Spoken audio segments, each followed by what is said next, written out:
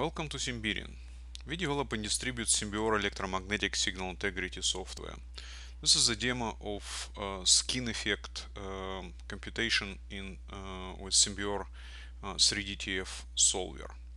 Uh, to illustrate skin effect, I will use microstrip line segment shown here with 7 mil wide uh, strip, 1 mil thick, 1 mil thick plane, uh, port 1 excited with 1 volt, uh, in series as 50 ohm, and port 2 is terminated with 50 ohm. And I have the uh, pre-computed current density here. And I check current density at uh, 1 kilohertz, computed again with Simbeor 3DTF solver. And we can observe um, instantaneous current value at different time as a fraction of period. You can see that the distribution of current pretty much uniform and uh, return current flow uh, through the whole um, uh, return path. If you take a look at from the top, you can see that the return current is pretty much uniform over there.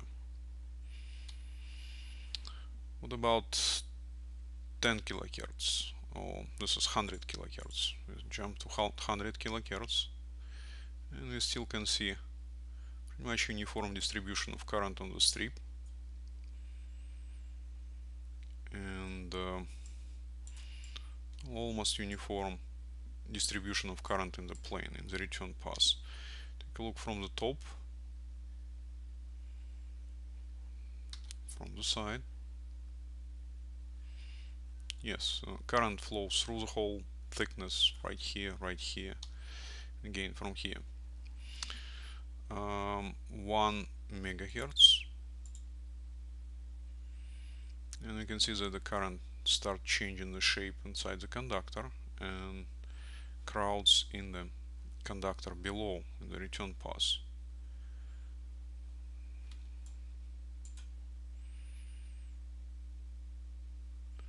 take a look from the top you'll see this kind of current lags behind the, at those remote location here side view. You can see beginning of the skin effect clearly. 10 megahertz. You can see substantially lower current value inside the conductor now current density is measured here in ampere per square meter. Uh, color of the arrows and each arrow and um, length of the arrow correspond to the value of the field on this scale. Density of the arrows means nothing. They just uh, ranged uh, adaptively to um, capture the skin depths now we can see that uh, current through the plane has some also delay on the other side. So if you take a look from the top,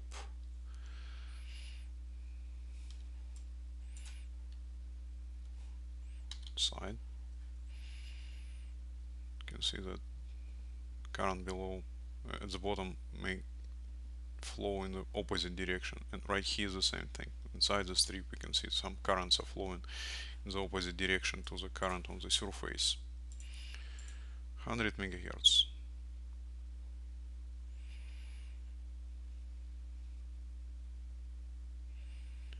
Less current flow on the top more current flow on the edges right here. And there is substantial um, kind of uh, delay uh, in the current flowing inside. So it's related to um, inductive property of the conductor internal inductance so-called.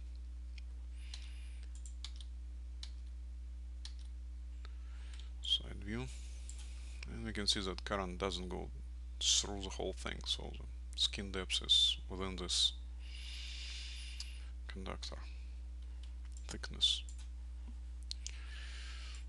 well, this is probably the most interesting part was from 10 megahertz to 100 giga, uh, 100 megahertz.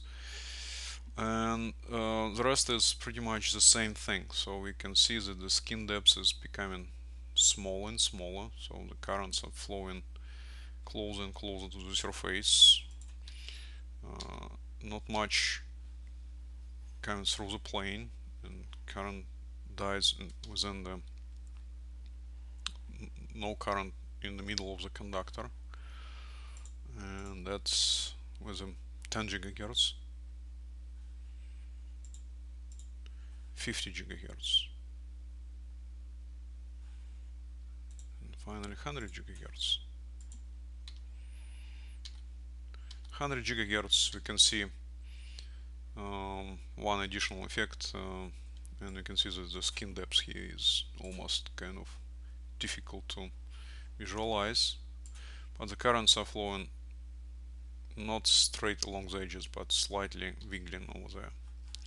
So let's take a look at uh, in a, a different perspective and um, see it as a color map. You can see uniform distribution here with change with the time. And next change to color map next. Color map now we can see this non-uniform distribution inside the conductor and you can see clearly current crowding in the plane. Color map you see how current gets in waves inside the conductor and changes the direction as we saw with arrows also color map